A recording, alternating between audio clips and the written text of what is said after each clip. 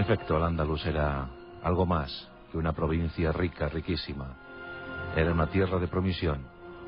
Y muchísimos musulmanes de diversa procedencia, de variada índole, llegaron a la península ibérica dispuestos a asentar todo, todo un imperio.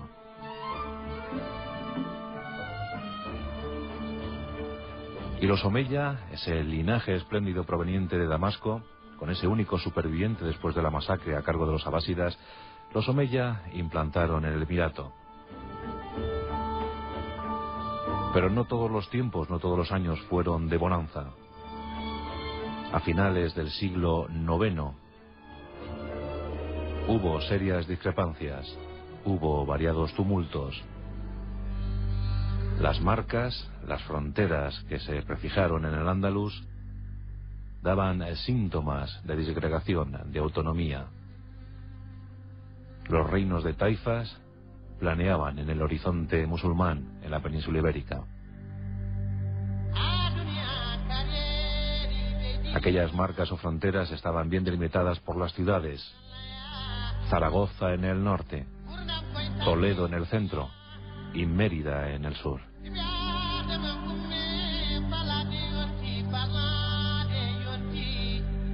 Hubo un gobernante llamado Abdalá que tuvo que ceder los trastos tras su fallecimiento a un nieto. Y ese nieto estaba llamado a ser el más grande gobernante del Andalus. Nacido en el año 891. Vino al mundo en Córdoba, la gran capital del Emirato, llamada a ser también capital del futuro califato. El artífice de todo ello, Abderrahman III,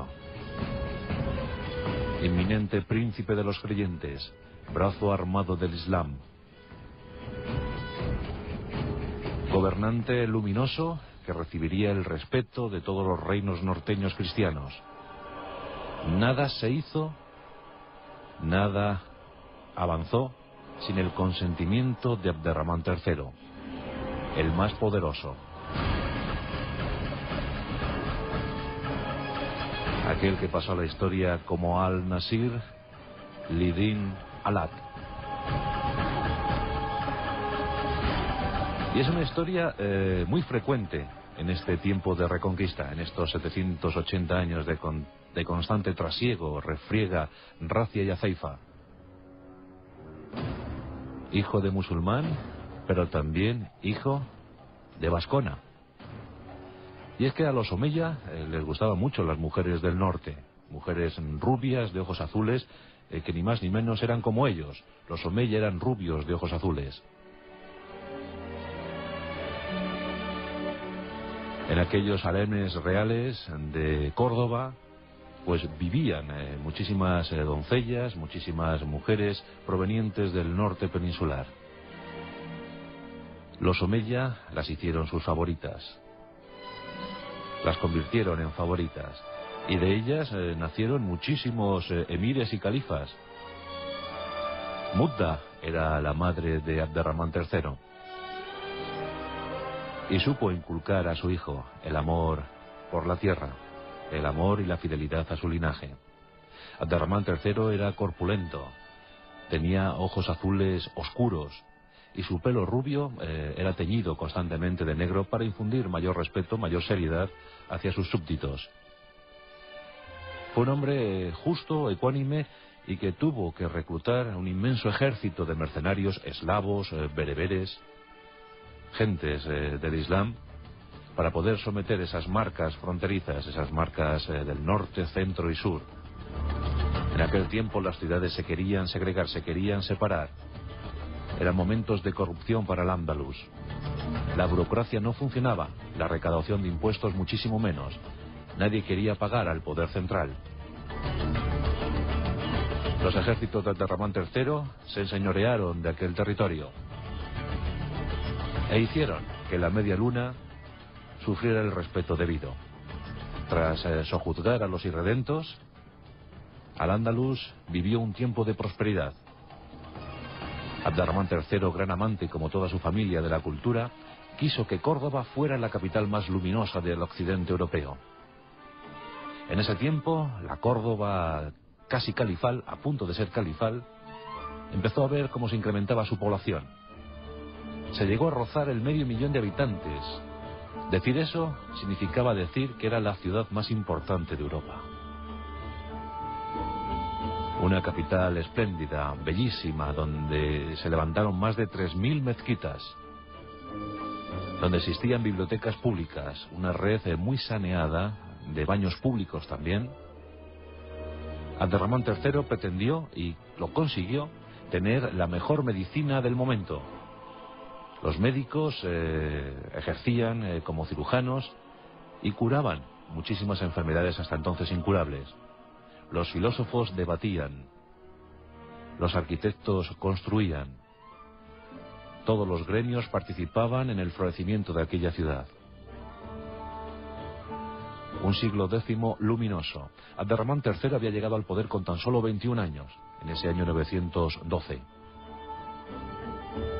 Pero en todo el tiempo en el que pudo eh, gobernar al Andalus, la verdad es que Córdoba no dejó de crecer, no dejó de ser bella.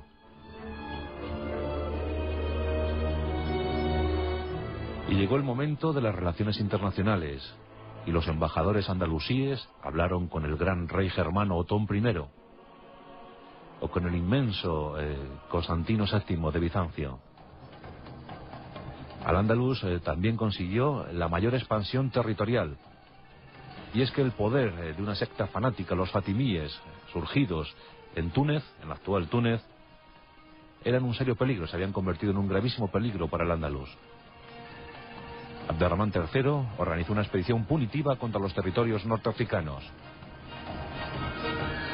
De ese modo fue conquistando ciudades como Ceuta, Melilla, esto ocurría en el 927, en el 931, también Tánger. Y en medio de toda esta ofensiva, Abderramán tomó la decisión más importante de su vida, la de autoproclamarse califa. Corre el año de 929. Abderramán III pasará a la historia como el primer califa del Andalus, el príncipe de los creyentes, el brazo armado del Islam. Su poder era conocido en toda Europa. Y también su determinación. Porque no faltaron, a lo largo de sus años de gobierno, las oportunas racias veraniegas sobre los reinos cristianos. En 920, por ejemplo, obtuvo una inmensa victoria, una gran victoria en Navarra, en Valdejunquera. Allí los ejércitos cristianos fueron diezmados por las tropas del Islam. Pero también sufrió reveses militares. Fue el caso en 939 de la célebre batalla de Simancas, la primera gran victoria de los ejércitos cristianos en la Reconquista. Abderramán III, que iba al frente de las tropas, decidió en ese momento no volver a encabezar ninguna expedición militar contra los cristianos. La derrota de Simancas fue humillante para él y ajustició, ejecutó a decenas de oficiales a los que culpó de desidia, a los que culpó de desorganización, de falta de estrategia y táctica en esa batalla contra los cristianos. Lo cierto es que los reinos norteños cobraron muchísima moral tras esa decisiva victoria de Simancas. Aún así, Abderramán III era admirado, respetado, y recibía el vasallaje de esos reinos cristianos, que por otra parte tanto le odiaban. Ya os digo que no se tomaba ni una sola decisión en la península ibérica, no se tomaba ni una sola decisión sin contar con el beneplácito de Abderramán III. En 936 dio un paso fundamental a la hora de fomentar la cultura hispana. Tras haber embellecido Córdoba, rindió homenaje a su favorita, a Zarat. En 1010, después los almorávides y luego el expolio continuado durante siglos acabaron con Medina Zahara. Pero nos queda el recuerdo, el recuerdo de aquella ilusión. El recuerdo por engrandecer al Andaluz del califa de Ramán III. el primero de su linaje que alcanzó ese grado. Por desgracia para los Omeya, el califato apenas perduraría un siglo. Ya sabemos que a principios del 11 llegaron los reinos de Taifas y con eso y con eso la desgracia para el mundo musulmán en la península ibérica. Ya nada volvería a ser lo mismo. Abderramán III falleció el 15 de octubre del año 961. Dice la leyenda que poco antes de fallecer, con 70 años ya cumplidos, echó la vista atrás y recordó lo acontecido en su reino en esos años. Y dicen que tan solo pudo recordar 14 días felices. En 70 años de existencia, tan solo un par de semanas. Todo lo demás fue cubierto por la sangre de la guerra, por la corrupción de la burocracia y por el temor a perder un mundo ideal. Abderramán III, Al-Nasir Ladinalat, el príncipe de los creyentes, aquel que consiguió para el Andalus una luminosidad jamás vista hasta entonces, aquel que recibió el respeto de toda Europa, aquel que embelleció Córdoba hasta hacer de ella la ciudad más importante de todo un continente.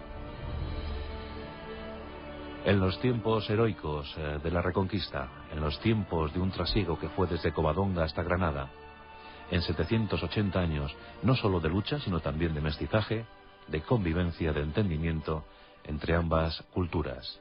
Un mismo mundo dominado por un mismo Dios.